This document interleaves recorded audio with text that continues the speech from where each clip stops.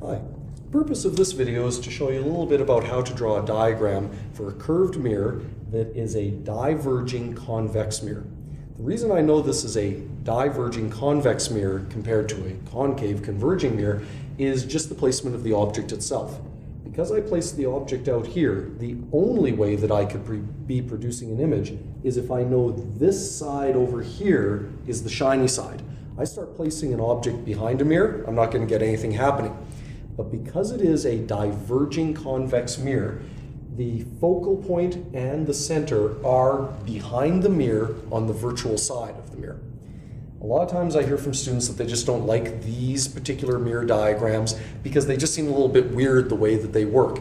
What I would counter with that is um, that actually once you've drawn these diagrams once, you're probably going to be pretty good with them because although there are different things that we could try to do with the exact drawing in these diagrams, you quite often get the exact same results. I'm basically looking in this diagram, without drawing anything, I'm expecting to get a erect, virtual, diminished image. That's just the way these work. I still follow the same three rules that I would usually use when I'm drawing a concave converging mirror. It's just I got to be really careful because on a diverging mirror, everything that happens on this side is all about rays of light spreading out. That's why we call it diverging. And that means that I don't really expect to have rays of light that are going to converge on this side and produce an image for me.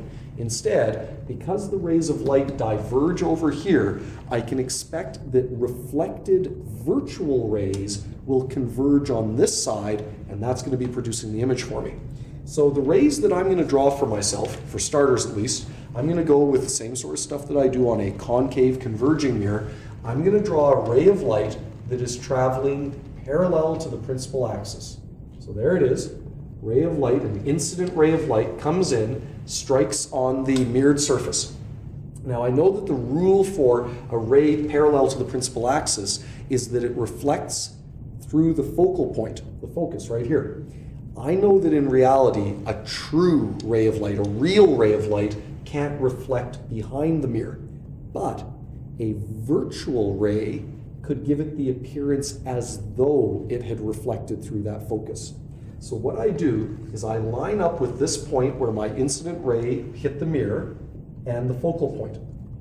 I line it up like this, and I'm going to draw this as a dotted ray because it's virtual. And then I extend it off like that on the real side as my true real reflected ray. But I know that because that's a reflected ray, it could, even behind the mirror as a dotted line, tell me where that image is going to be appearing. So that means now that I've done one of my rays, I'm going to have to draw a second ray. For the second ray on these diverging convex mirror diagrams, I usually jump to the rule that says a ray through the center reflects through the center because I just find that it's usually easier to draw on these and probably most students are going to have a bit more success with it. So for that one, I go from, again, the same spot on my object and I aim all the way back here to the center. And I'm going to have to draw part of it as a solid ray coming like that. And then as soon as I go behind the mirror, I know that I have to become dotted as a virtual ray, like that, okay? Now this is kind of weird on this part because this is the incident ray and the reflected ray. It comes in and it bounces off.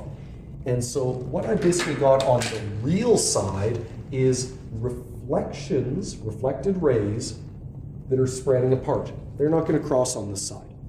But if you check out here, because this dotted line, you say, oh, but that was the incident ray, but it is its own, it also lines up exactly with its own reflection ray. That means that this dotted line is a virtual reflected ray, and this dotted line is a virtual reflected ray. And they're crossing right there. That means that I now know the location of my virtual image. I place the tail of the image on the principal axis, just like it was in the object, and because everything came off of the head of the object, I know the head of my image will be right there. So I'm going to line this up. And notice I'm drawing it as dotted lines. because I know that nothing can actually be real behind there. There's nothing actually there. I'm going to label it as I. I'm seeing that I've got a virtual, erect, diminished image produced by this. Now, the third rule in this one that we could draw, a lot of times people get kind of confused with it because they usually extend the wrong part behind the mirror. You have to remember it's only reflected rays that can extend behind the mirror. The third rule does say, though, that a ray through the focus reflects parallel to the principal axis. So what I do if I want to draw the third rule, which right now with just these two rules drawn, I'm done. I walk away from this, I'm a happy person, I've got everything done. But I just want to show you how the third rule would be drawn. I would go from the object, aiming down here to the focus. Now this is the problem. A lot of people take this and extend it behind, but I can't. This is an incident ray. It doesn't belong going behind. It's only a reflected ray that does. The reflected ray goes bouncing off parallel to the principal axis. That's the one that I can extend behind the mirror like that. So there's my reflected ray. And you can actually see in this diagram, things actually lined up quite nicely. All of my reflected rays pretty much did hit in one spot. So I'm actually going to call that one a success. It actually worked out quite nicely for us. So that's how you can draw a diagram for a diverging convex mirror. Usually uh, you're going to have diagrams that would look pretty much like this again and again. There's not a lot of variation and not as much variation in these diagrams usually. So good luck with these and bye-bye.